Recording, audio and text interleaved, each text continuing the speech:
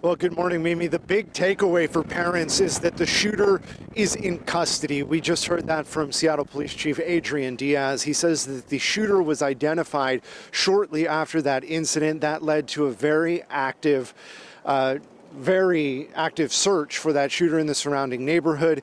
And we know that possibly just a few moments ago, that shooter, whose identity uh, has not been released, is in custody. So the the um, the current danger to the community is over with, but now the attention turns to that suspect or to that victim rather. We know that one person was injured, presumably by gunfire inside of Ingraham High School.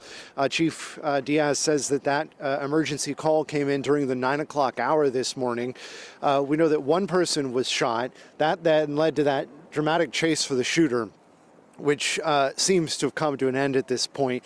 Uh, but along with that law enforcement response, we saw a just tremendous response from parents, from family members that dropped everything and came to Ingraham High School. They've been gathering around 135th and Meridian. We now know that they are uh, gathering on school property closer to the school, uh, to the pool at the school uh, where police are having a, a reunification area where many concerned parents will be meeting with their students hopefully uh, everybody can breathe a little bit easier with that announcement that that shooter was in custody. Many details uh, will come out throughout the day, what led to this shooting, uh, possible motivations, and uh, what charges this shooter may be facing. Uh, many questions that will be revealed uh, throughout the day. We'll send it back to you.